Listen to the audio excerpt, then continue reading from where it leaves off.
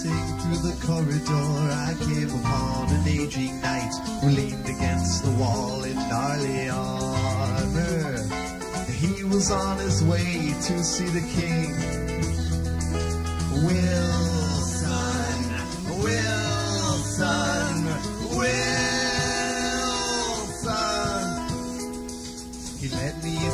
streets of Prussia talking as he tried to crush a bug that scurried underneath his boot heel. He said there was a place where we should go. So he led me through the forest to the edge of a lagoon by which we wandered till we reached a bubbly spring. The night grew very quiet as we stood there. Up his visor and he turned to me and he began to sing. He said, I come from the land of darkness. I said, I come from the land of doom. He said, I come from the land of demons. From the land of the big baboon. But I never, never going back there. And I couldn't if I tried.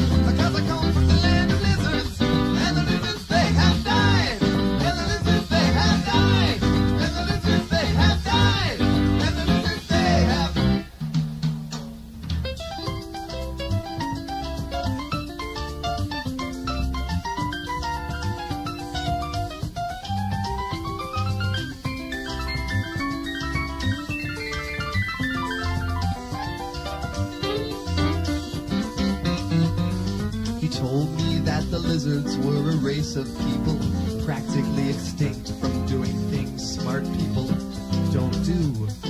He said he was once a lizard too.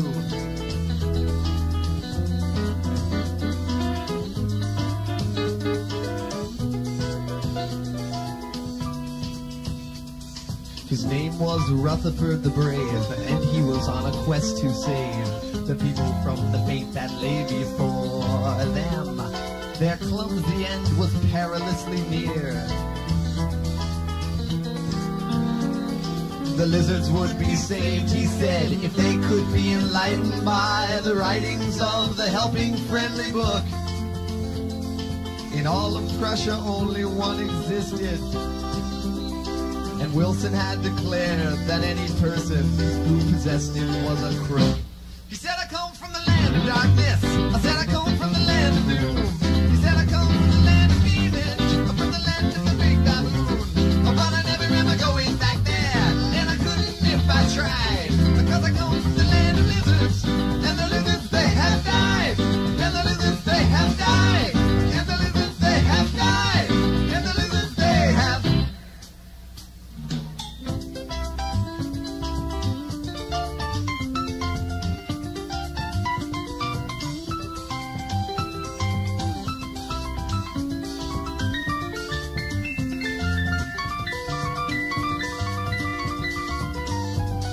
The helping, friendly book, it seemed, possessed the ancient secrets of eternal joy and never-ending splendor.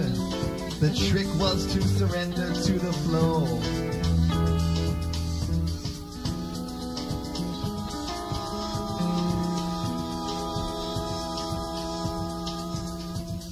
We walked along beneath the moon. He led us through the bush till soon saw before our eyes a raging river. He said we can swim it if we try. And saying this, the knight dove in, forgetting that his suit of arms would surely weigh him down, and so he sunk. And as his body disappeared before me, I bowed my head in silence and remembered all the thoughts that he had thought. He said, I come from the land of darkness. I said, I come from the land of doom. He said, I come from the land of demons. From the land of the big baboon. But I never remember going back there. And I couldn't if I tried. Because I come from the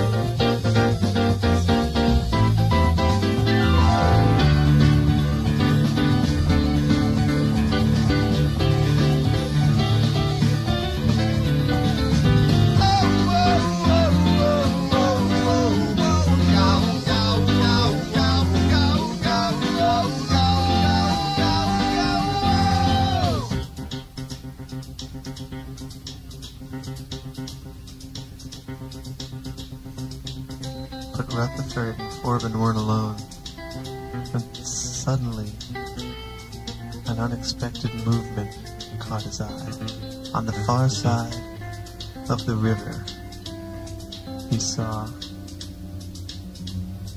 a shaggy creature standing in the weeds, who stared across at Forbin with an unrelenting gigantic mass of muscles and claws. The hideous beast reared back and hurled himself in the water and swam toward the region where Rutherford lay. And in a flash, the beast was gone. Underneath the surface, to the frosty depths below, while Forbin, bewildered, waited alone.